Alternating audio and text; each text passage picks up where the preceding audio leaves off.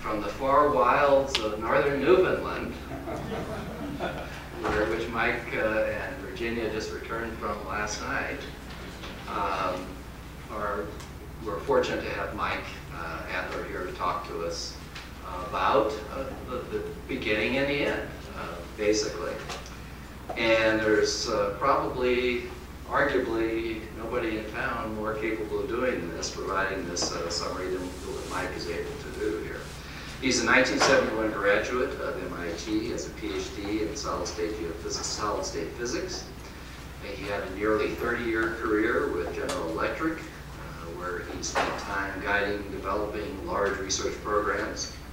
After GE, uh, he worked to develop microcells, fuel cells for devices such as cell phones. He's been an adjunct professor at Rensselaer Polytech Institute, published over 100 technical papers. He's been active in the IEEE, uh, which is the Institute of Electrical and Electronics Engineers. I have to write that down, otherwise I cannot remember that.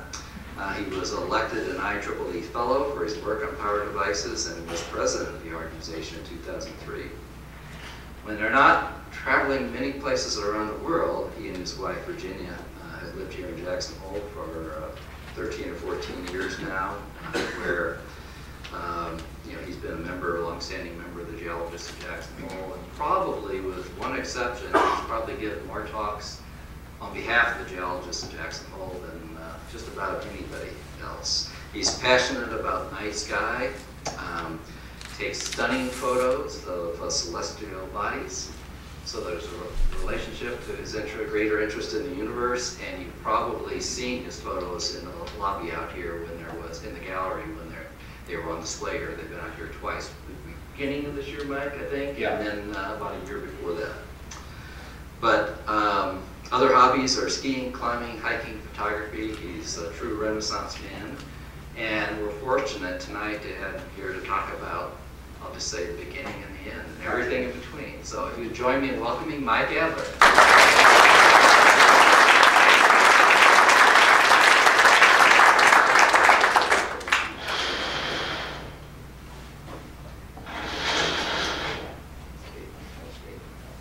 Get into the right one. And of course, Yeah, I'll- I've got to get back into it.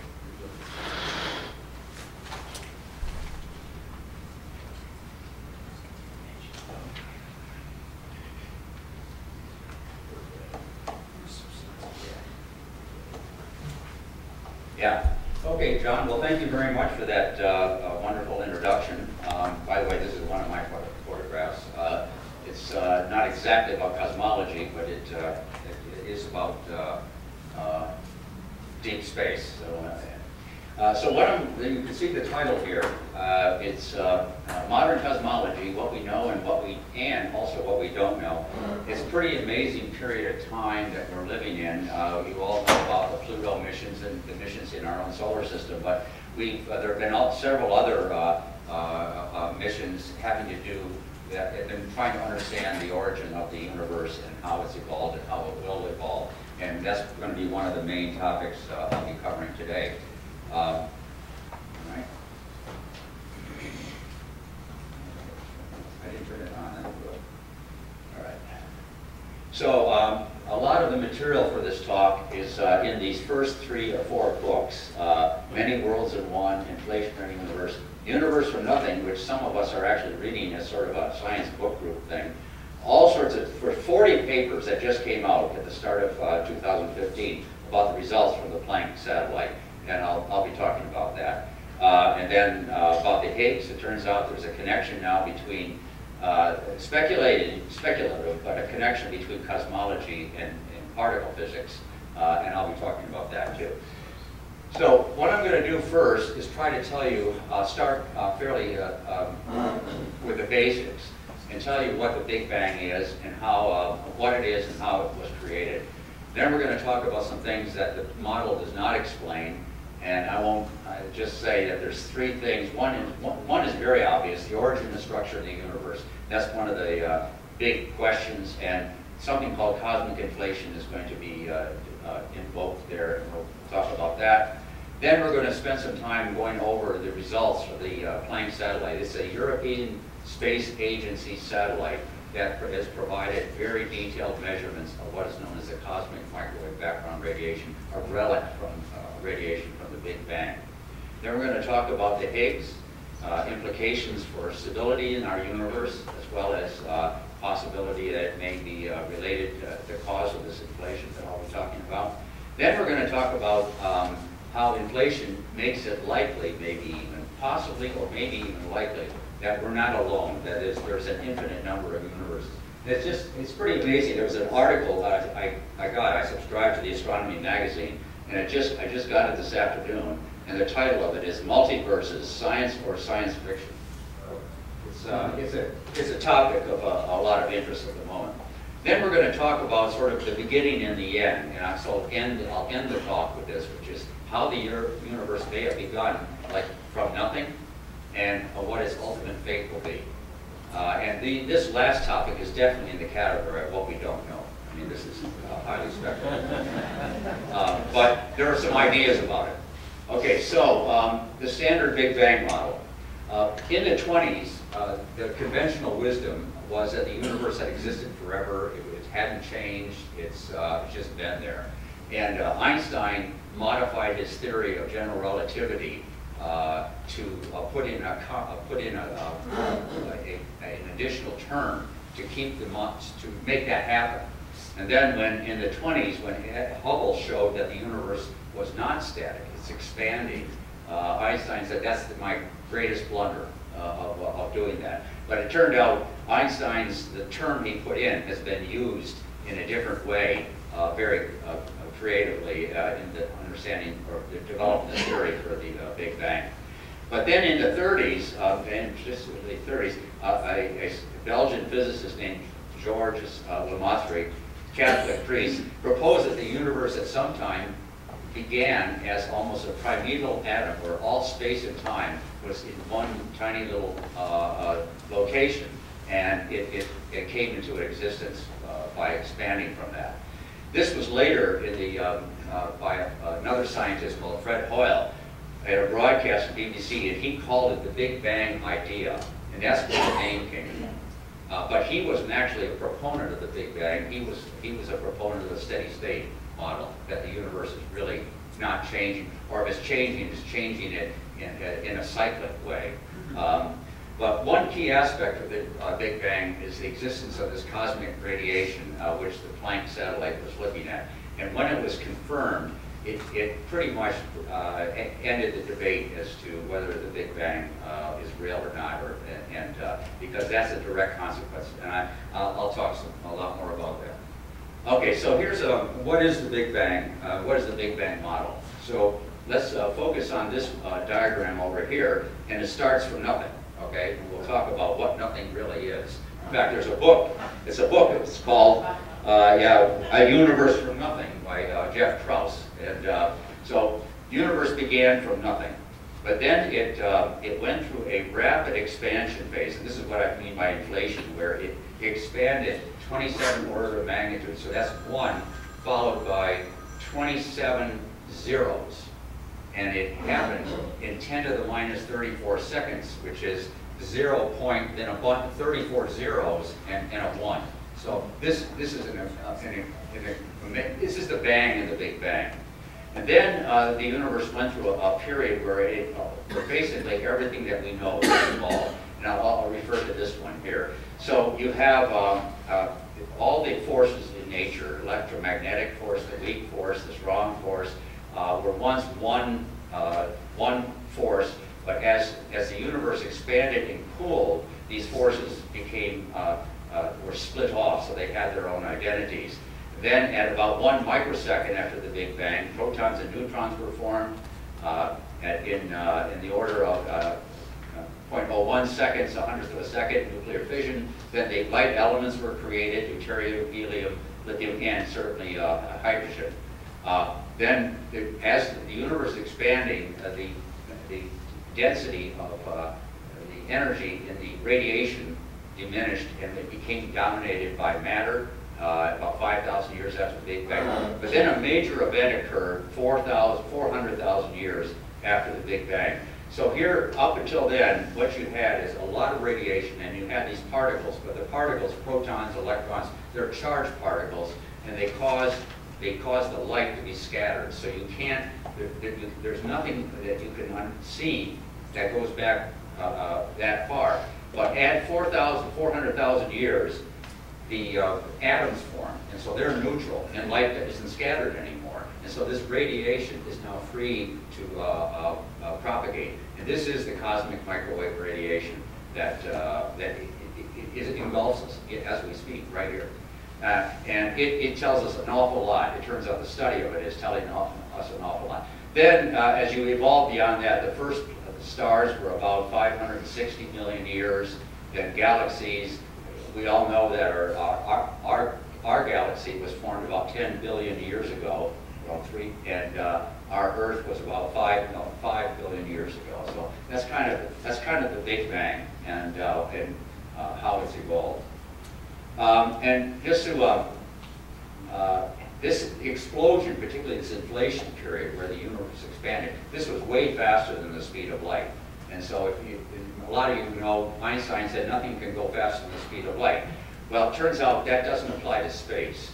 And so what, what, what you really can look at is expansion of the universe more like co uh, coins on a, a balloon. They're, as you blow up a balloon, the coins are moving apart from each other, but not because of their own motion, but because that the balloon is expanding. And that's what happens in the universe. Everything is expanding away from each other, but only because the space is expanding, not because they actually are moving uh, by themselves. Now they have some movement, but the big picture is the space movement. Um, and then, so this, uh, this, this uh, I, I, mentioned uh, Hubble in, in the 20s determined that the universe uh, was expanding.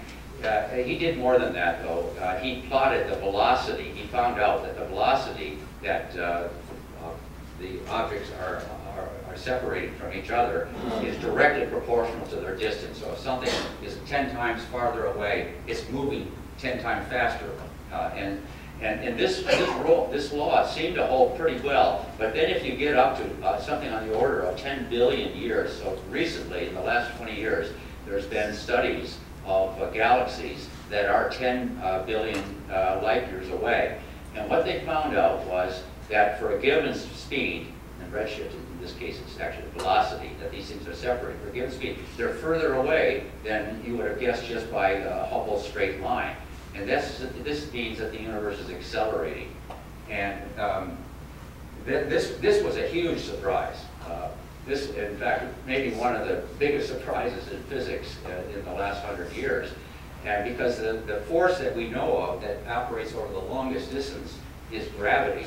And gravity is, is, is, uh, is not, uh, is it, it uh, brings things together. It's uh, attractive. And uh, this, uh, it, for the universe to be actually accelerating, in the, there has to be something like negative gravity. And this has now been called dark energy. We'll be talking about that. And a Nobel Prize, this, this little discovery here, led to a Nobel Prize in 2011. So is a big deal. Okay, so what about the, what we say about our universe? Well, so we have this uh, stuff called dark energy, which is negative gravity and uh, we have matter. So these, the, the evolution of the universe is often illustrated by a graph like this. So you have, on this axis, you have dark energy. And on this axis, you have matter. Um, and depending on what value there is for these various uh, things, like matter, like over here, if, if you happen to have lots of matter and not much uh, of this, uh, you have a closed universe which is eventually going to collapse, and that's called the Big Crunch, um, uh, as opposed to the Big Bang. And um, it's uh, and in addition to that, this the shape of space uh, is curved, so light does not travel in straight lines in a universe of this type. It is bent. You all know, or most of you probably know, that light bends around uh, heavy objects like the sun. Well, it turns out the average amount of matter in the universe affects the overall curvature of the universe uh, in addition to, you know, smaller uh, things that happen close to massive objects like our sun or, or a galaxy. But on the average, the universe will have curvature if it's in the closed. Now, another, uh, another extreme is that it's an open universe, it's low in matter, and, uh, and this is, this universe is open, it is, and light is bent in the other direction. Uh, and, uh, but it's not, it does not travel in straight lines, so the universe has a different shape to it. And depending on uh, exactly what value you have for this dark energy, it, uh, it, it could, it could expand forever, and, uh, and, it, and that's, that's up in this realm. And now, this is the data that all these experiments uh, produced. Now there's, uh, so this is the supernova data that I just showed you. When you extrapolate that, put it on it, you get this uh, line that runs like this. Then there's some other data from clusters of galaxies. Uh, and then there's the data from the cosmic microwave background radiation. And this line here is, is divides between closed and open, and it's called flat. Now, this is really confusing to people when you talk about a flat universe. What flat means, if you, if the uh, sum of the, of the ordinary matter and the uh, dark uh, energy is unity, uh, which it means that the universe is at something called the critical density. And a universe with a critical density, that light travels in a straight line, and that's what uh, that's what a flat universe means. The light is not bent. It doesn't mean that the universe is flat geometrically. It just means that light isn't bent. But it's a very unusual thing. This thing has got to sum up exactly to one for this to happen. It's, it's and uh, you'll you'll notice how this data lines up along that line. So it, if so, if you just look at this data, you see here we are. They, cro- they cross nicely. Uh, and here you are, so most of the universe is made up, 70% is made up of dark uh, energy. Uh, about 30% uh, is, is uh, matter. And, uh, and the universe is going to expand forever. It's in this region of, of the graph. And yeah, and of course, an, open universe that is going to expand forever, uh, what they call that is uh, the big freeze. Uh, as opposed to the big crunch, the big bang, the big freeze. And uh, so, uh, this, so this is what we know, uh, and this is based on data that's been uh, gathered over the last 10 years. It doesn't include the Planck data, but we'll get into that. Planck data doesn't disagree with this, it just refines it. Uh, but so interesting enough, so we have uh, what this data says is that uh, 70% of, uh, of is something called dark energy, 30% is, is matter. But it turns out of that 30%, only 4.9% of matter is ordinary matter. And the rest of the matter is something called dark matter, which I'll uh, just talk about in a second. Um, and surprisingly, the universe is flat, and light is not bent, even though it seems like, how, why would that happen? Well, we'll talk about that. Okay, so here's, here was, dark matter was kind of guessed at some years ago, and it was guessed at because the things that astronomers can measure right here in our own galaxy didn't make sense. So here you have the rotational speed of the galaxy as a function of the distance away from the center. And this is, the, here's our sun, by the way. Uh, and this is what it should have done. If, if all the matter, the matter, only matter that existed was matter that you could see, uh, like the stars and, and, and dust and gas, the rotational speed should have fallen, fallen off like this, but it didn't. It goes like this. So what does that mean? It means that there's some other matter that we can't see but is there. Why do we know it's there? Because its effects, its gravity is causing the speed to actually uh, stay constant and increase slightly as you go away from the center of it. So this was the first hint of uh, dark uh, uh, energy matter. And, uh, uh, and, and in fact, 85% of, um, well, 85% of the mass of the galaxy is due to the presence of this dark matter. And, and so of the, of the 0.31 of matter in the universe, 30% are only, uh, only 0.04 or 0.05 is, regular matter, and the rest is this dark, uh, dark matter. So most of the universe is made up of something dark uh, that we can't see. Um, so here's the makeup of the universe. Um, very little radiation. Uh, radiation is still there, but it, it, it was the dominant energy form very early in the game, but it's, uh, it no longer is. Matter took over. So what you have is 4.9% is normal matter, including planets, stars, galaxies, gas dust, plasma, black holes, and of this, a tenth of a percent are neutrinos. Uh, neutrinos do have mass. And then, uh, the- then 26.8% is this dark matter, a type of matter that interacts gravitationally, but is different from all the particles in the standard model, that it does not interact with light. It interacts with light through its effect on gravity, uh, light is bent uh, by gravity, but um, it does not, you can't see it. And then the whopping 68% uh, is this dark energy, which is causing the universe to accelerate. Uh, And this is kind of what the standard Big Bang model run uh, uh, comes down to. This is the size of the universe, and this axis, this is time. Zero is now. One minus one was essentially the Big Bang, and it going along, and then you see it, it beginning to move up. And the reason, so the universe is accelerating, and it's because of this dark energy. One of the properties of dark energy, i- uh, as we understand it, is has constant energy density, which means as the universe gets bigger, there's more of it. And that's why, uh, that's why the universe is accelerating in its expansion.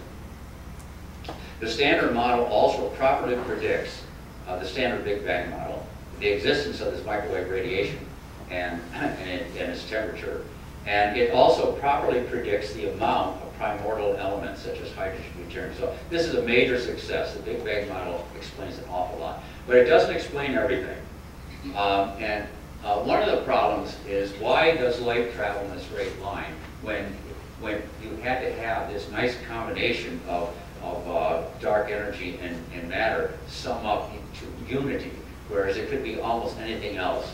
And it turns out, um, when you go through the math of this, the, uh, the state of uh, flatness, or where uh, light isn't bent, is unstable. It's like a top that's spinning, and any little perturbation, call it the tip over. And uh, so, uh, but it, here it is. So why did, why is it? It seems unlikely that uh, it, it wouldn't happen unless something made it happen. The second problem is, why do we see this, this radiation, the cosmic microwave radiation, comes at us from all directions, 13, and it arrives here 13.8 billion years, uh, we're now getting it. Um, so, but it's coming from left and right, and that sort of says, how can that happen? If it all once, once in a single space, how can it be uh, coming at us uh, from opposite directions? And it's totally uniform, it looks the same in every direction you look at. So what, what's going on here?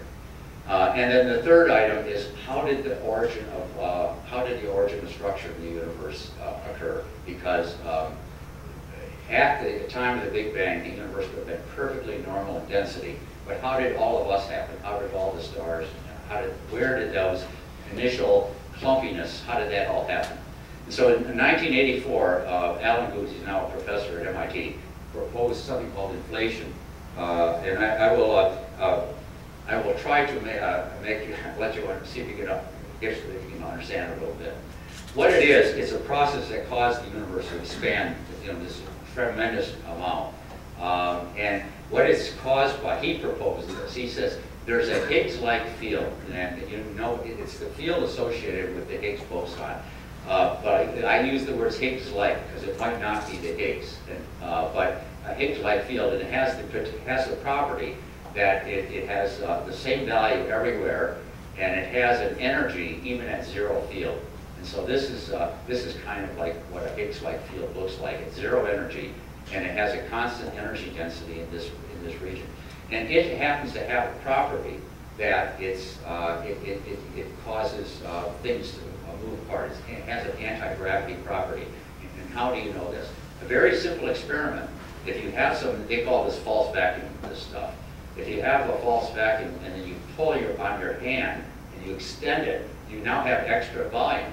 Well, that means this is bigger, and if this is at constant energy density, there's more energy now than there was before. So the person holding, doing that hand experiment had to be doing some work to make, uh, because all of a sudden there's more energy, so it had to come from that motion. And that can only, that means that there was, the, the false vacuum was exerting a, a compressive force, a force that was resisting the expansion, and that's negative pressure. And so that's the nature of a, the false vacuum. And so Alan posed that this small region of this false vacuum uh, uh, would exi existed. And if you follow, if you say, all right, what does general relativity say about this kind of stuff? The universe will expand exponentially, very fast. Just like I, 10, 25 orders of magnitude in 10 to the minus 34 seconds, 34 zeros. Amazing stuff. So, uh, and uh, the nature of this is uh, interesting. It's much faster than the speed of light, as I said earlier, uh, but it doesn't, uh, uh, it still agrees with the theory of relativity because it's space that's expanding, not the actual objects aren't moving faster than the speed of light. They're, they're separating, but it's because space is expanding. And since the energy density of this Higgs-like field is constant and the universe is expanding 25 orders of magnitude, that means that the energy, the total energy of the universe is expanding three times that. So 10 to the, uh, more than three times, 10 to the 75th. So the energy uh, in the universe is just going crazy. Now, what's amazing about this is that the net energy is zero. So how can that happen? How can this, uh, this uh, Higgs-like field, cause which is expanding uh, extremely fast, filling the universe with this false vacuum at, the, at a tremendous energy, total energy, and the total energy is zero. And the reason is that as the universe is expanding and, more, and, and, and the, uh, at this uh, incredible rate, but also you know very fast, that areas that uh, that uh, are now expanded have a gravitational field, and a gravitational field uh, uh, produces just a, a as a negative, a potential energy, which is negative. So the energy, the, the you have this tremendous energy in the uh, in the field, but uh, the, the gravitational field and the potential energy is balanced off exactly. And so the end result is a universe with zero energy, just balanced off. And Alan Guth calls this the ultimate free lunch. So you could have a universe that's expanding uh, tremendously, filled with matter, filled with this uh, uh, dark uh, energy, and uh, yet the total energy is zero. And and so this is so this this is what cosmic inflation is all about. It sounds pretty preposterous, but believe it or not, it actually explains an awful lot. Um, and the state of this false vacuum is metastable. So what happens is uh, the uh, the state eventually drops down in slow rolls, and it eventually uh, converts all this uh, energy converts into energy particles, in, and the universe is called, called reheating. And all the all the radiation and particles that are associated with the standard Big Bang model are now created. Uh, and so this this evolves neatly into the Big Bang, but it it um, so okay. So here he is. He has this. Uh, we ex- we have this uh, what's called cosmic inflation. Uh, so how does it explain this, the problems that I alluded to earlier? Well, the one about the flatness of the universe. Now this is a the math works it out perfectly, but I'm going to show you, give you a, a, a more of a easy to see explanation. If the universe had some curvature, but now it expands, you know, 25 orders of magnitude, any curvature, uh, like this, shows a little mouse on it, any curvature is going to, is almost going to be gone. And that's in fact what happens, that the curvature is driven to virtually zero, space, space is the curvature in space. And so that the uh, universe has this property that it's at critical density and uh, light is not uh, light is not bent. And uh, okay, so how does it solve another of the problems? How does it solve the problem of the this cosmic radiation coming at us uh, from right and left, 13.8 billion uh, light years away, and yet it was once in the same spot? And it solves that problem, and that's called the horizon problem. Because imagine a, a tiny little hunk of, uh, of matter located in points A and B. Then inflation hits. These points A and B now, you can't see them anymore because they've now blown out way beyond uh, your, uh, your visual horizon. And, uh, but eventually, the uh, light from them traveling at its, what seems like in this are, at a very slow speed, but it eventually arrives at you. And so you begin to see the light from these same two points. And since it started at the same place, it's exactly the same stuff. And so that's why light right and left on both sides uh, comes together and it looks, uh, it looks uh, just like, and that's why uh, it, it, seems to, at the surface of it, maybe violate uh, uh, the, the conservative speed of light, being nothing traveling faster than the speed of light, but it happens because of the, the space expanded so fast. Okay, and then um, we're going to now talk about the third of the problems, which is, um, which is why, where did the structure of the universe come from, and how, do, what, how is the CMB, the cosmic microwave radiation, help us sort this out? So, um, I, sort of alluded to this already. Uh, after the universe cooled to about 3,000 K at 3,800 years, the neutral atoms of hydrogen and helium form. And so the light that was uh, present and was scattered before is no longer scattered. And this is known as decoupling or recombination. And it's kind of like uh, looking at a sky with clouds, you can't see beyond the cloud layer. Well, that's pretty much what's happened here. Because light was scattered um, uh, uh, before this decoupling period, you can't see any of what has happened before this period at, at 380,000 years. But if something affected the light, this, the, uh, uh, the radiation back then, and it, it, and it, it might exist in the cosmic radiation itself, then, then you could see something. And that's the key. Um, uh, and so the, uh, the time of decoupling uh, was, uh, the universe was a thousand times smaller. The 3000 K is the sort of the temperature at which uh, atoms are formed. And now that temperature, that uh, radiation that's, that's we are bathed in is, has a temperature of 3.75 K, very cold, uniform to one part in 10, in 10 to the fifth. So the study of the CMB radiation, uh, and I'll show you what, what, what, information it has here in a second, the study of it has provided the most detailed information on the nature of the universe. And so, uh, and one of the, the key questions is where did the structure come from in the universe? And the, or, the origin is, is, is critical because otherwise we wouldn't exist. Uh, there wouldn't be, uh, everything would be perfectly uniform early on. So the way it happened is, is through the, uh, uh some wondrous uh, uh, properties of quantum physics, and that quantum fluctuations occur in empty space all the time. Particles are created and, and, uh, and, and recombined, created all the time. But normally they disappear very quickly. But during this period of, of uh, inflation, they're actually stretched and survive. And they cause some of the regions that are exiting inflation uh, before, to exit before others, and it produces small density fluctuations uh, uh, that uh, will later uh, density variations. And, these, these small density variations are the nucleus of all the structure in the universe. So one quantum fluctuation produces a small variation in regular matter, but there's dark matter also, and it produces a, a, a fluctuation in the dark matter uh, uh, there. And these variations are critical, as I've said, they, they are the origin of all the structure in the universe. But these density, this density variations uh, affect the radiation, the light, that, uh, in the CMB in this case, because uh, pro a property of general relativity is that matter and gravity, light is, light is affected by matter and gravity.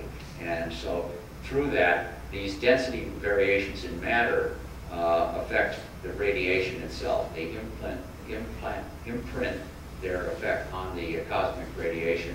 And so the way this works is you have, imagine one uh, one regular matter blip caused by uh, a fluctuation, it would, it would have propagated through the early universe as what's called a cosmic sound wave, very near, uh, very much like dropping a rock in a pond, producing a little blip in the middle and a wave that's, uh, that moves out.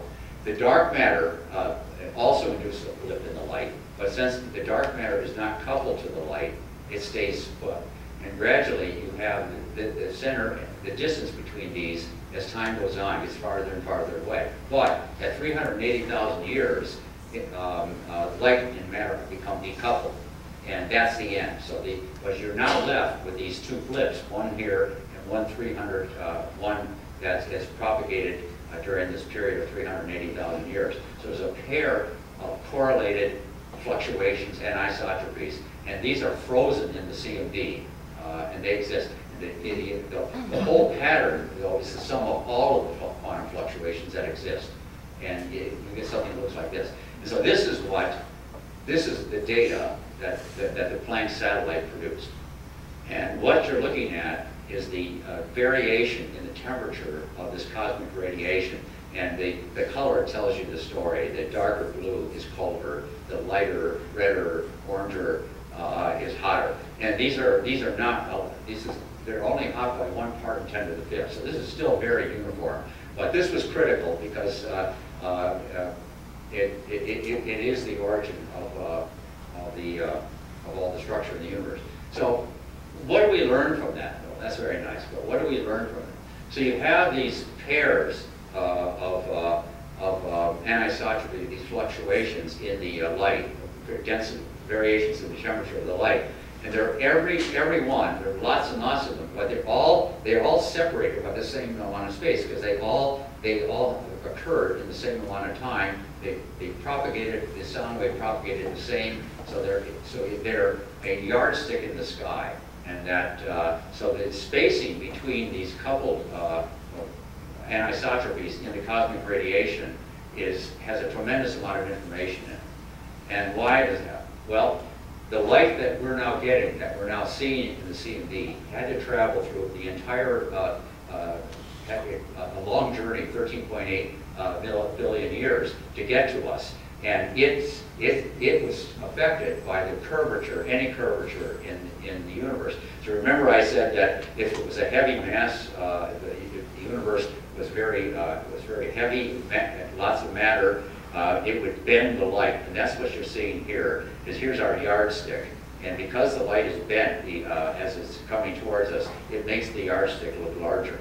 And then if it was a very, if the matter was, uh, was a lot less matter, uh, light would have been bent the other way, and the yardstick would have looked smaller to us.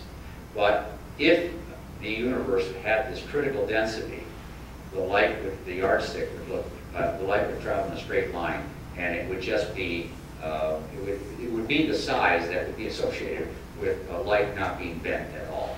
Uh, but so any curvature in the, uh, in the, in the universe, the space, uh, would cause this. So that's why this yardstick, these, the distance between these little blips is, uh, it, uh, has so much information in it. And so what is done is that uh, the, the, the, the, these experiments like the Planck and there's a U.S. for look at these uh, the spacing where you started to see correlated uh, um, uh, correlated blips. And it turns out the first one you see, the, the one that's the largest in the sky, is about six tenths of a degree. Uh, there's nothing longer because the, the light out there isn't correlated.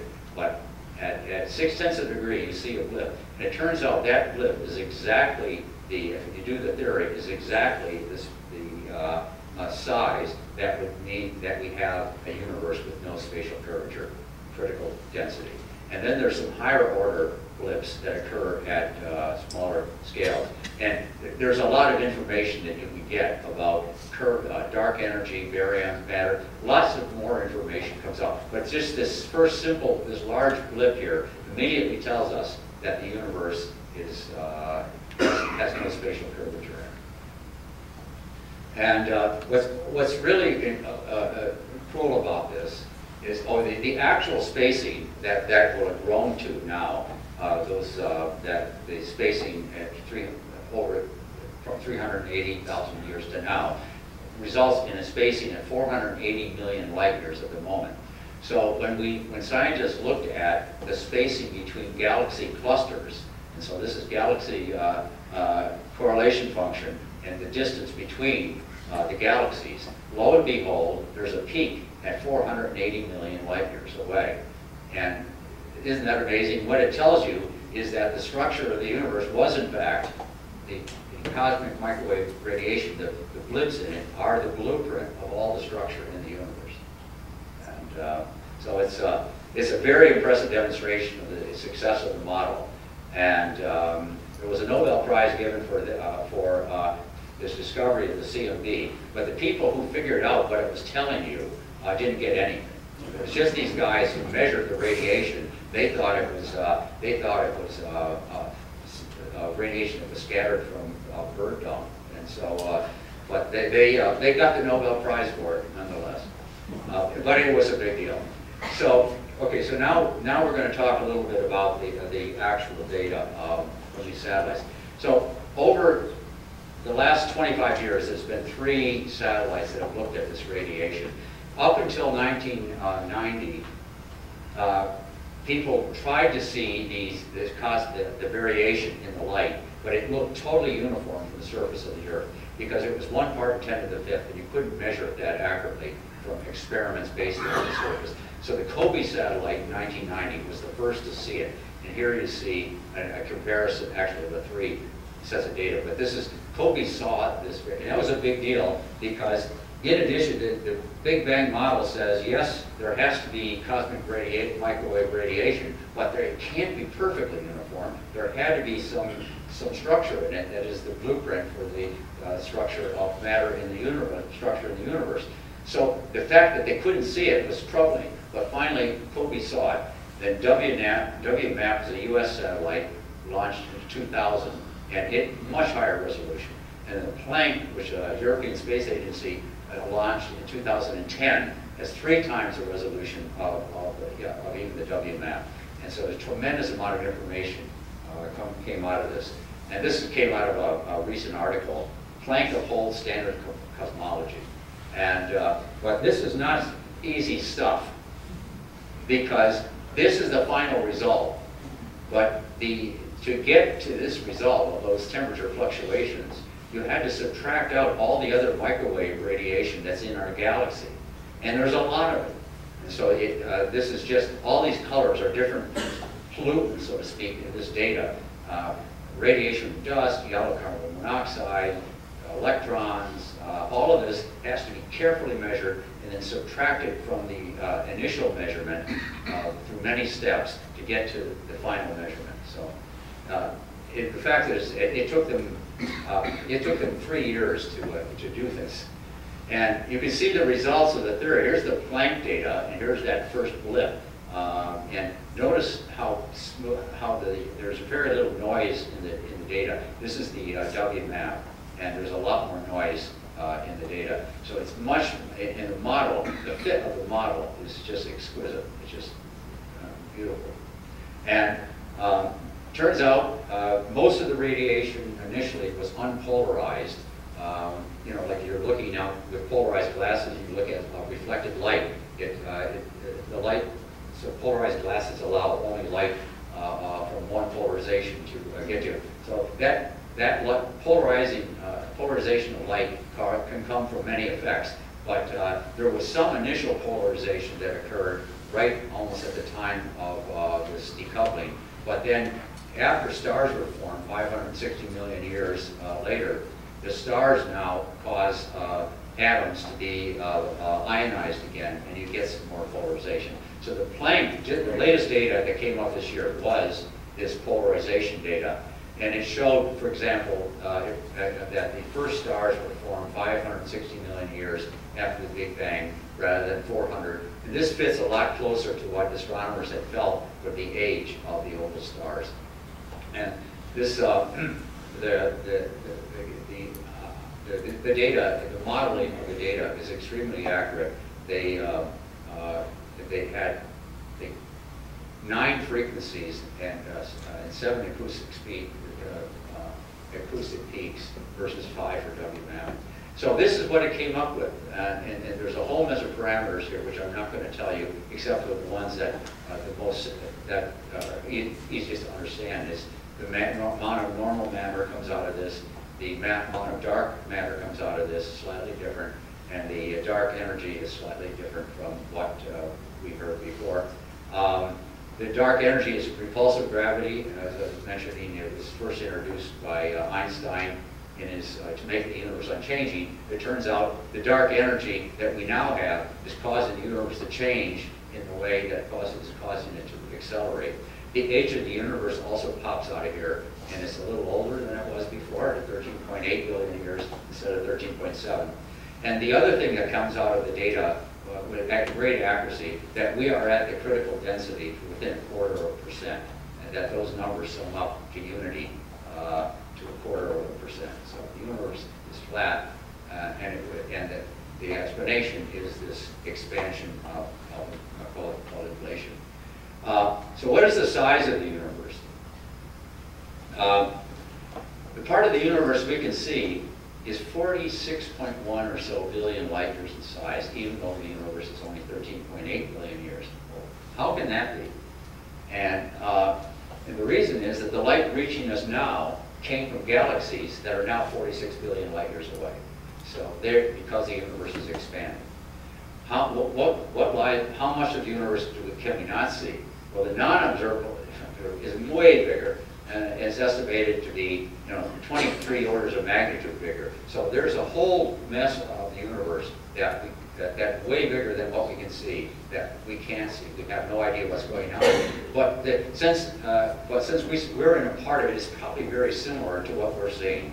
And Hubble has done a great job recently, particularly, of, of looking way beyond what it normally should have been able to see, using gravitational lensing of galaxies to see things that go back uh, to uh, uh, the time when the first galaxies were being formed. So very neat stuff. Um, last year, uh, there, there, was a some the, the, inflate, the inflation uh, period. Einstein's theory says something like this, blowing up this amount, would have caused a gravitational wave uh, that would propagate it through the universe, a wave of changing gravity. Uh, and, and uh, you should be, if it exists, you should be able to feel it. Uh, we've, we've never seen one. Supernovas, there's, there's never been one measured. But last year, BICEP 2 said they saw it in the cosmic radiation because this wave would have caused some polarization to occur in the CMB. And they said they saw this particular type of polarization. Unfortunately, for them, they used some bad data to um, uh, subtract out the, uh, the, there's the same polarization that is caused by gra gravitational waves is also present in our galaxy. So they had to take that out from the data. They were operating this thing at the South Pole, a hole in our, in our uh, atmosphere but it wasn't good enough. And the size of the effect, they, they worked together subsequently with the Planck team, and the size of the effect they were measuring was about the size of the correction. And so it's shaky. But uh, the team, the team still believes it's there, um, and they're now doing another experiment. It's called BICEP 3 at several different frequencies at higher accuracy. So uh, stay tuned. We may actually see this gravitational wave, but we won't see it in, uh, in its set, we'll see its effect on the cosmic radiation. Uh, this, uh, this, is, uh, this is the Planck information, implications for inflation. And I, am going to make this real simple, but this, what this is, is this red, uh, uh, blue area here is, uh, is mapped out, is, data, is, is mapped out by Planck. And what it is, it measures the, the size, the ratio, the polarization to the temperature. Uh, so the, the strength of the polarization to the strength of the temperature. That's this, uh, this factor here. The spectral index has to do with the frequency dependence of the, uh, uh, anisotropies. Well, they said all of this has to lie in this region. Well, this just about ruled out almost all models for inflation except the most simple ones. But it actually uh, works out very well and it shows that the simplest model for inflation, the slow roll that I showed you much earlier, uh, is consistent with this data. And so even though they didn't see the smoking gun of the gravitational wave, they saw pretty good confirmation that, that cosmic inflation. Um, what's also amazing uh, is how much other stuff that is in this data, like uh, 50 technical papers one of the other things, this is mat, this is the density of matter, Hubble's constant, but this is the uh, sum of the density of neutrinos. So they actually are able to determine what the neutrino masses were. I mean, I, I don't you know, know how that comes out of here exactly by any means, but they, they mine this data amazing ways and uh, were able to actually come up showing that uh, for sure that neutrinos have mass. Uh, there are particles uh, that are that basically uh, don't interact with matter. Uh, and, and, one of the candidates for dark matter is, is possibly neutrinos. But we, and neutrinos do have mass. But anyway, that's, that's still all up in the air. Um, okay, so those are all the, the results from Planck. But there's also some other uh, results, some anomalous results. So this is what the Planck 2013 data looked like. And it looked like there was a temperature difference in, the, the temperature here and here, and there was a cold spot. Uh, and this line between them it was someone in, uh, in, in, in, one of the ma some magazine called it the axis of evil. And, um, and, you know, uh, and so, because it shouldn't have been there, if the universe is uniform in every direction, uh, this is inconsistent with that. So some of the theories, well, this is really uh, um, uh, speculative, but that this is caused by an interaction with another universe. Um, stay tuned. Uh, these things uh, seem to be real, continue to be studied. You can see, if you go online and Google cold spot, axis of evil, or dark flow, you'll see an enormous amount of speculation. The latest data, the Planck 2015 data, uh, seems to be devoid of this problem, but uh, there's been an awful lot of speculation about um, uh, these anomalous results. Okay, so I'm going to change gears here, and to talk a little bit about particle physics. With the discovery of the Higgs boson in 2012, there's been a, uh, people have been looking at what role the Higgs mechanism uh, could have on cosmology. One thing they found out was by measuring, now measuring the Higgs boson mass and the mass of the top quark, that we, our universe is metastable. And what that means is, uh, this is the uh, Higgs uh, potential, and uh, we have, we exist at this point. But there's a lower energy, uh, a lower energy state that uh, and but there's a there's a barrier, there's a there's a, a, a barrier, an energy barrier between them. But if somehow something could tunnel through this energy barrier, uh, the universe would instantly change uh, its nature.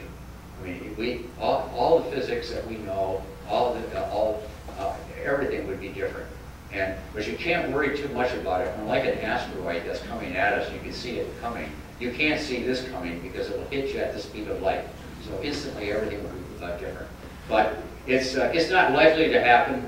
But uh, but it is is the, the, the study of the Higgs uh, uh, has led to understanding, yeah, we're, we're, not in an unstable universe, but we're not in a perfectly stable one either. Uh, there's a lower energy um, state. The other thing that Higgs has done is that the, the field, the Higgs field is very similar to the type of field that, is, that caused inflation. And initially it thought it was the same thing, but the nature of the uh, inflation field the shape of it, the slow roll part, isn't consistent with Higgs. But they, uh, some people have been doing some uh, modeling and said, well, if Higgs has any connection at all with gravity, if, it's, if it uh, is coupled with gravity. So this is that same curve that I showed you just a few minutes ago, where uh, you know this is this, this R factor and this factor.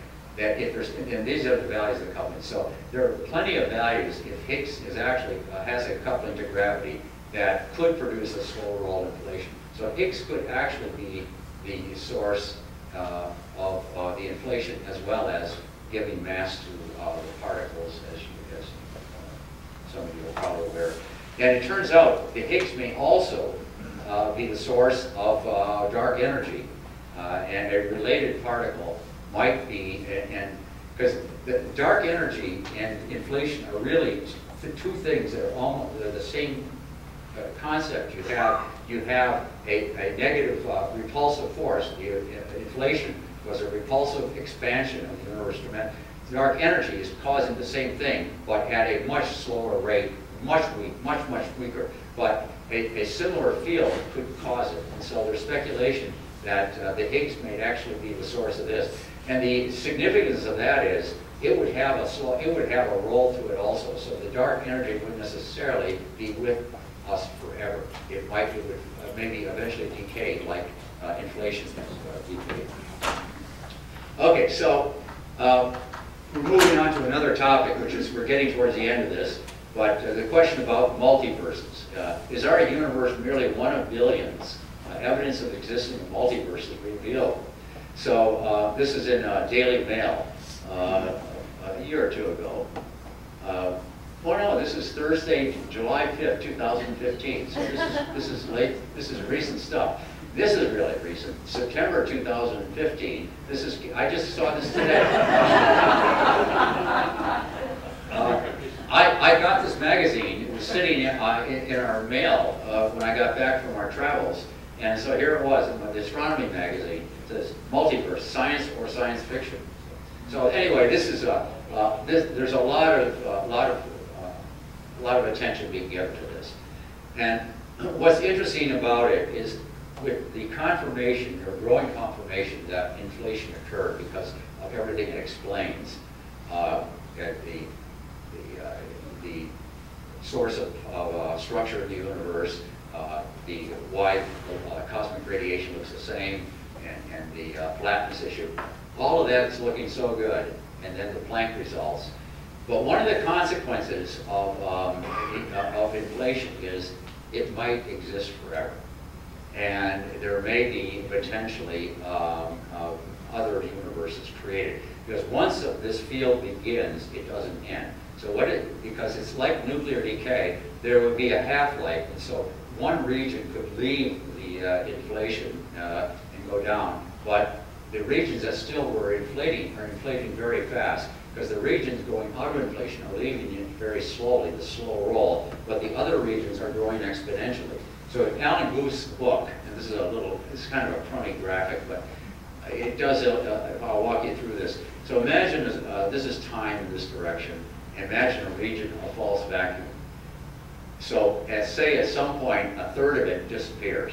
Well, because of this, this, this region here that was left over is now, now actually grown to be the full size of the first region. And same thing here. Then in another period of time, same amount of time, uh, two more regions are, have left. But these small little areas of false vacuum continue, are actually that big. So if you, you actually have the, the graphic becomes impossible. And, uh, uh, and, and, it continues forever. And so, uh, because, uh, and, and, so it, it suggests, and this is the nature of, of the beast, it suggests that once it starts, yes, individual universes get spun out of it, he's calling them pocket universes, but in fact, the process could go on uh, forever. And, um, and as I say, it creates a fractal-like pattern that uh, looks the same at, uh, at all, all, all at all scales. And once it starts, it goes forever. So that's the multiverse. And that's, this is not the only theory for the multiverse, but I happen to like it simply because it, inflation is looking very real, and this is one of the consequences of inflation, that the multiverse exists. So Andrei Linde was one, along with Alan Guth, was one, uh, was one of the uh, uh, real proponents of, of inflation theory uh, back in the 1986. Uh, he, uh, he, this is a quote from a paper he wrote then. Says the old question, why our universe is the only possible one, is now replaced by the question in which theories of the existence of many universes of our type are possible. This question is still very difficult, but it is much easier than the previous one, why our universe is the way it is. Um, you know, it's been, uh, Krauss in his book calls physics an, a, um, an environmental science because he, the, the, the particle, uh, particle theory, uh, that uh, standard model particle theory, uh, there are 60 elementary particles and 19 adjustable parameters. So this does not have the feel of something really fundamental. And, uh, and that these, uh, these things are discoverable, but are not, are not fundamental. And so parallel universes would likely have the same physics, but there's little reason uh, that they would have the same properties. For example, if the Higgs field was different in another universe, the mass of the particles would be different, the physics of, uh, of all the elements would be different, so the universe would be totally different. And uh, so this gives a reason, uh, one reason why we, we, are, why we are so finely tuned to, to make everything that we have here, uh, our lives, our universe, our Earth, uh, the way it is, because it's not, it's not just one, it's one of an infinite number of possibilities. And you figure in an infinite number, there might be one that has just this proper mix of, uh, of uh, adjustable parameters and particles that, that behave to give us our universe the way we know it. So, um, we're, we're getting to the uh, we're getting to the end of the talk, which is the beginning and the end. All right. So, so one question you might have asked: Well, where did this false vacuum region arise to begin with, uh, which started this process of inflation and eternal inflation? Uh, and a more fundamental question uh, is: Did the universe have to have a beginning? Well, it turns out Alex. I'll answer that question quickly. Alex Vilenkin, in his book, Many Worlds in One. And it's a readable book, not as readable as Krauss's book on the universe of nothing, but it's readable. It's not meant for, uh, it, it's meant for uh, lay people to read. But he proves that, and, and you can almost understand, it. he shows that a universe that is expanding, you can almost understand it. If you read his book, he explains it fairly carefully, but I don't want to take the time to do it. But you can almost understand it by saying, if a, he says, the universe is, uh, has to have a beginning, because the consequence of an expanding universe without a beginning would cause objects to go faster than the speed of light at some point. And uh, he proves this. And it's a fairly simple proof. But uh, so the universe did have a beginning. It did not was has not been expanding forever. Uh, but then the question is, what is the beginning? What what what happened? How did it happen? All right. Okay. And as I say, this we're now in the spec, we're now in the thing area of things we don't know. But uh, this is one possible um, scenario, and you can't test it. It's, it's, but it doesn't violate any known physics. So Vilenkin, in the same book, proposes a possibility which has the minimum number of, uh, of uh, which has the absence of everything in the existence, absence of space and time, if you can somehow get that in your head. Um, the only thing that has to exist are the laws of quantum physics, and he points it out, is it's the mind, not the matter, that, that exists. But if you, if you posit this, uh, that uh, nothing exists except the laws of physics exist, so a closed spherical universe with zero energy, of the type, our, you know, our universe, while it's not closed spherical, it has zero energy. And it turns out all spherical universes have zero energy, filled with a Higgs-like field and a certain amount of ordinary matter, could appear spontaneously because, and because it has, and that's because of the uh, of quantum physics. Quantum physics says things happen uh, without a cause, and they usually uh, don't last very long. Uh, but it, at, if, if, this thing has zero energy, which, it, uh, which we're positing that it does, and our universe does, uh, the uncertainty principle does not limit it because if, any, if it had a positive amount of energy, uh, the, the uncertainty principle says it can last only a certain amount of time. But if it has zero energy, there's no limit to how long it can last.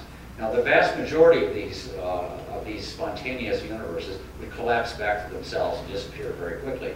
However, even a vanishingly small universe has a non-zero probability of lasting long enough. This doesn't seem like very long, but it's long enough. It's long enough for the period of inflation to have produced this hot mix of high energy particles and radiation and to drive the universe precisely into the critical density, the flatness, which we, uh, which we observe. So, uh, uh, so yeah, it, it's not a high probability, but it's not zero. And if you, if you act, wait millennia for it to happen, it could happen. So the scenario is not testable, but it is plausible and does not violate any physics. So this is a universe from literally nothing. And uh, Krauss's book uh, talks about the fact that nothing is actually unstable. Something will always come from nothing. That's kind of what we're saying there. Okay, so the, now we're at the end. That's the beginning. So what's the end? Okay. In two trillion years, uh, two followed by 12 zeros, all evidence of the Big Bang, that is the cosmic microwave radiation, and, and a few other things, will have disappeared. Our local group of 30 galaxies will have collapsed into one, and the other 100 uh, plus billion other galaxies will disappear from sight. And, uh, and in fact, the near, the sooner, the first event in this sequence is going to happen in 4 billion years, where the Milky Way and the Andromeda uh, collide. Um, the universe well, interestingly enough, appear like scientists thought 100 years ago. Sci 100 years ago, now, if you ask a scientist what the universe was, he would say the Milky Way. That's it. It's our galaxy. That's the way it's going to look like at this time, because all you're going to see is one galaxy and no, no other galaxies. They've all been out of this field of view. They've been, so they'd be actually moving faster than the speed of light, so light from them can't get to you uh, the universe will expand it that fast. And so at some point, the universe hits light speed uh, again. Uh, the expansion, just like it did, just like the expansion did during inflation, was faster than the speed of light. It could eventually get faster than the speed of light again due to this dark energy. Okay, um, in a hundred trillion years, the last stars will have died, and all that remains are their corpses, white dwarfs, neutron stars, and black holes in 4,000 trillion, trillion, trillion years, 4 followed by 40 zeros, The only source of radiation throughout the universe is from the feeble Hawking radiation coming from black holes. Hawking showed that black holes aren't totally black. They do emit, uh, they do emit radiation.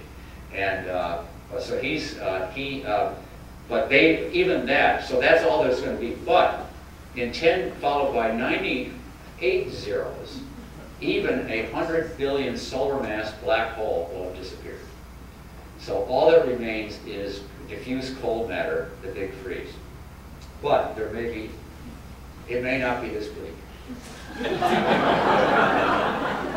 if dark energy decays, uh, uh, because it is actually, uh, it is kind of like on a super slow roll, but it's just like the inflation decay and gave us our, uh, all the particles for the Big Bang. Uh, if this actually is a process, it could, that repulsive uh, uh, force will disappear and gravitation will take over again and it could uh, collapse and we get the big crunch and we start over again. And then there's also the possibility of other universes, the multi-universes. So that's, that's, um, that's the end. And uh, so in summary, um, just the Big Bang model explains the expansion of the universe, the existence of the cosmic radiation, and the amount of light elements. Uh, recent data show that it's uh, driven the universe to a critical energy density with no spatial curvature and with the numbers that I've talked about before. A quantum fluctuation in inflation in a state of zero net energy may be the origin of the universe, a universe from nothing. Inflation also solves problems with what the structure, the flatness, and the horizon problems. Um, Planck satellite has refined the Big Bang model and strongly supports inflation. Uh, the, the, model, and it, it, supports the simple models that, uh, that, that, that, that, are, that, that we, we need, the slow roll, where there's enough time to build up uh, to flatten the universe and build up all, all the necessary number of particles. The universe is in a metastable state based on the measurements of Higgs boson and could revert, not likely, to a lower energy state where everything would change, but we won't see it coming. Um, the Higgs field may turn out to be the source of inflation in dark energy, a neat result if it holds up. And uh, the universe will expand forever and die in a cold death after 10 to the 99 years, the big, uh, the, the, big freeze. But if, uh, if dark energy disappears, who knows? So that's it.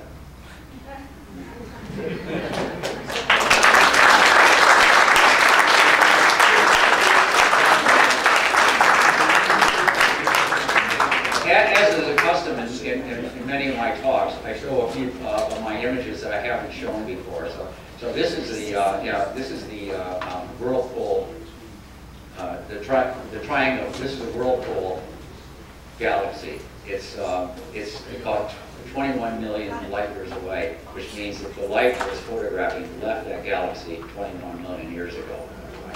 But so this is one of the uh, uh, very famous galaxies in the universe because it's very pretty too. I mean, and, and uh, here's another one, uh, uh, and, and, this is another whirlpool uh, galaxy. This is a, this is even a much smaller galaxy in size, but it's also about 25 million light years away. So these uh, these were two these were two must uh, image galaxies when I got my new 20-inch telescope. This was on my my bucket list of things I had to do, and I'm reasonably happy with.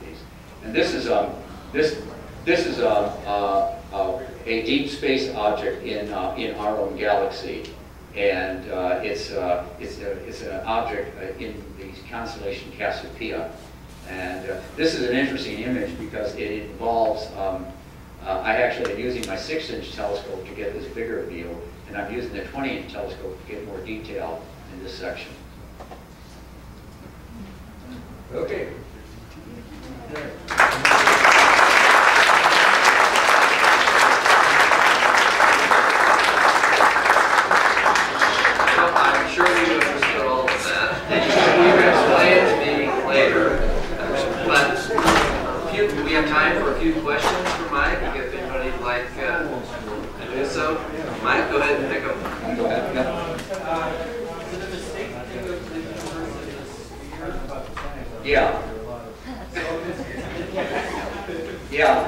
Yeah, the, the, the, mistake, and this is hard, uh, this is a hard concept, but the idea is that, you know, you think about the Big Bang, well, the Big Bang existed in something else first. You know, it was, there was something there, and it just, no, all space and matter exists, It is, is, uh, is, and and it's, it's, and it, it looks the same no matter where you are it. And so to think of it as a sphere, it doesn't work. It doesn't work. Considering the far future, it sounds like we're in a race between the decay of dark energy and expansion. Yeah. Did everybody hear that? So, so we're working in a race between expansion, velocity, we're gonna and dark energy, repulsive force. So if repulsive force decays enough, and expansion stalls out, and then we go backwards, otherwise.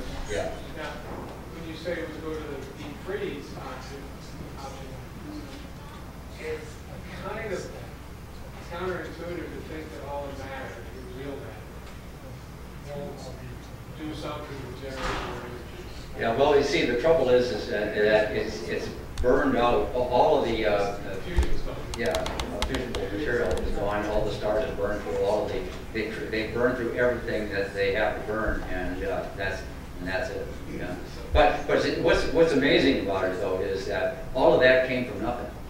In the beginning, But you had a big spark before you. we had a big spark, and, and it was this, this hypothetical uh, quantum fluctuation that, uh, that everything, uh, which included this uh, magical potion of, uh, but you know, it's not totally magical because the Higgs particle exists, there's a Higgs field associated with the particle. Uh, and just like the electromagnetic radiation of photon and this, that field is, has the properties of this uh, negative uh, pressure. And so, I mean, it, measurement of the Higgs provides a lot of, uh, makes people say, well, you know, if it can, if, if it, if that's the way the Higgs behaves, why, why can't something else, you know, be responsible for something, something very similar? So, the measurement of the Higgs has, uh, uh, helped bolster some of these theories. Over if you got all these galaxies disappearing, you got an awful lot of photography to do with. Yeah, I, I gotta get moving here. Yeah, Yeah, they're going, they're disappearing on me. Yeah. My question is one of your simpler concepts, that's a joke, uh, the um, cosmic inflation.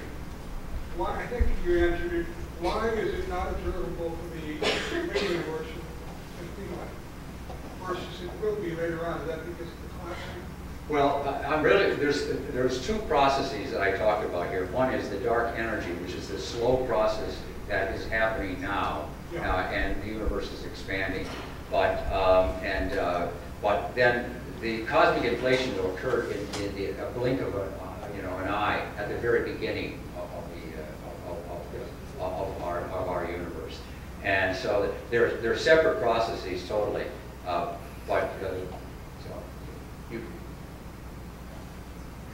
Can you talk about what would have to change for our universe to go from the metastable state to the lower energy, more stable state? Well, Can um, everybody, can everybody hear that? Yeah, what, what would cause a, a transition from this metastable to a possibly lower state? And uh, things like that uh, can happen, um, uh, well, there's something called quantum tunneling, where particles can actually go through a, a quantum barrier. And, you know, so there, there are mechanisms that could cause it, but the probabilities of these things are, are can- are really low. But what's the parameter that would actually need to change? Um, It's, it's, it's probability. It's, the probability exists that this could happen. Quantum physics is based on probabilities. The probability is really low, but it's not zero. So nothing has to change, it just has to happen. The probability of it happening is not very high, but it, it can happen.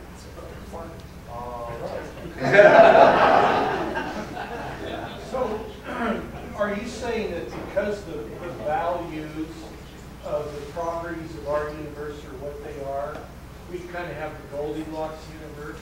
Yeah. And that if you tinkered with these properties, you'd have a different looking? Yeah, you don't have to change them very much either. That, that's where that six numbers, uh, you know, Rees talks about that in the six numbers. You don't have to change these, you don't have to change the Higgs, uh, field very much, the Higgs mass very much to change, uh, everything. And that's why it doesn't, you know, as Carl says, it's in- become a, an environmental science.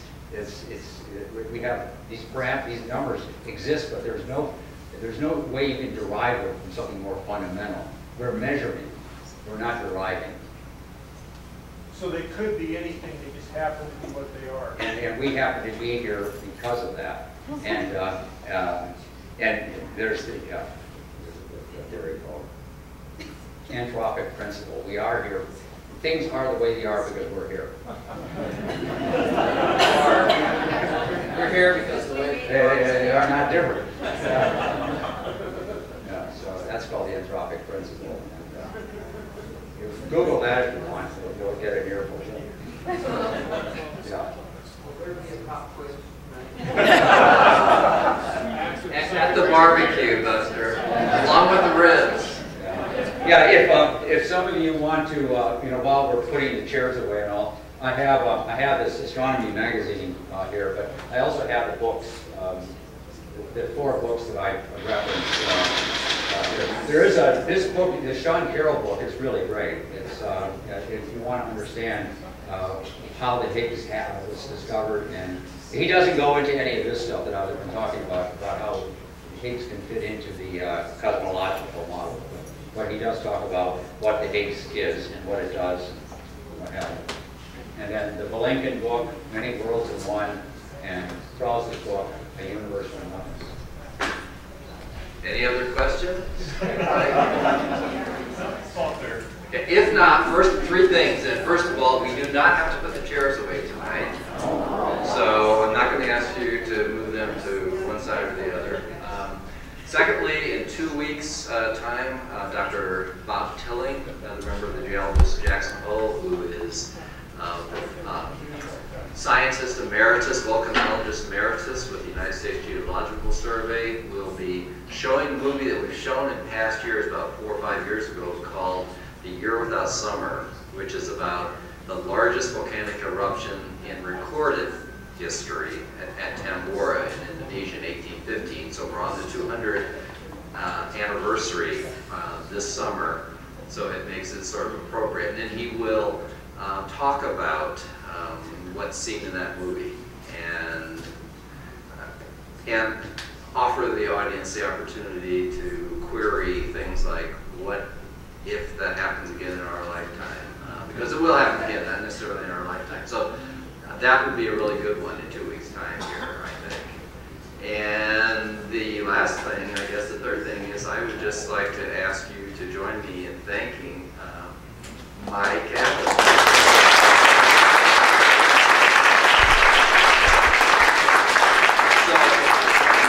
so,